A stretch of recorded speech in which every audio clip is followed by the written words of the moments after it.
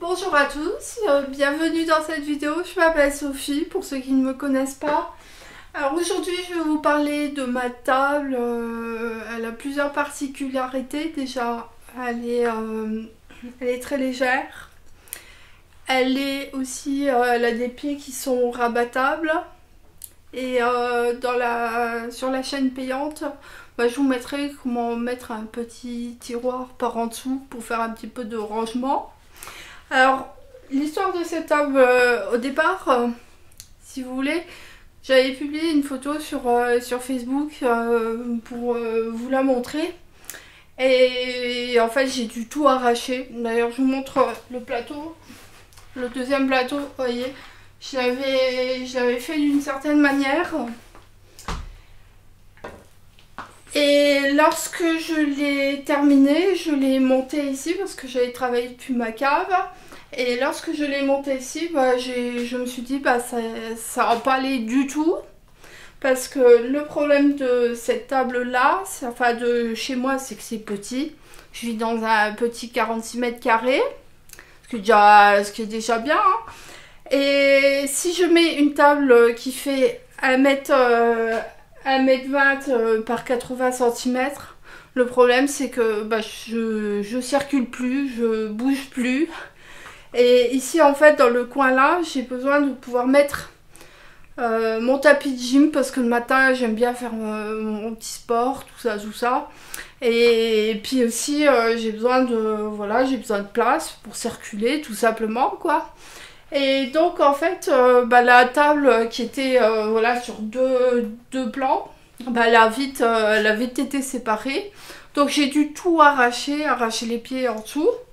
J'ai réussi à récupérer le carton qui était déjà coupé. Donc du coup, j'ai récupéré ce carton. Et ensuite, je l'ai plié d'une certaine manière pour pouvoir le, le réutiliser par en dessous. Alors, ce qu'il faut... Bah d'ailleurs, je vais vous montrer. Je vais déplier la table. Hop. Voilà. Et ensuite, je rajoute le plateau par-dessus. Alors, ça, ce qu'il faut savoir, c'est que bah, y a de la place en dessous des jambes. Parce que bah, la première configuration, celle qu'on voit la plus, euh, la plus fréquente, en fait, c'est voilà, faire la croisillon par en dessous. Mais le problème, c'est que quand vous voulez un petit, enfin là, le plateau, il fait 50 par 80. Donc forcément, euh, si je fais le croisillon, bah, je veux mettre mes jambes en dessous, il n'y a plus de place.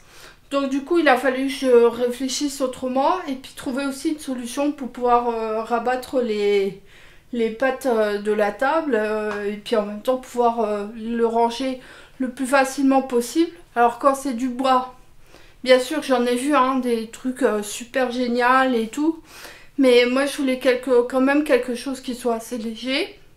En plus, bah, par exemple moi les plateaux là je les ai à 5 euros. Il y en a qui me disent aussi qu'il faudrait faire un plateau de table, donc découper des lamelles de carton, les, les replier et puis euh, voilà mettre entre des plaques. Mais moi j'avais quand même envie un petit peu d'avoir du bois. Quand même le toucher du bois c'est quand même assez agréable et euh, voilà et puis euh, en plus je les avais à 5 euros pièce donc, donc j'en ai profité pour me faire une table. Alors dans le tutoriel de ce mois-ci ce sera pas vraiment le tutoriel pas à pas euh, avec tous les détails euh, comme je l'ai fait pour les autres vidéos.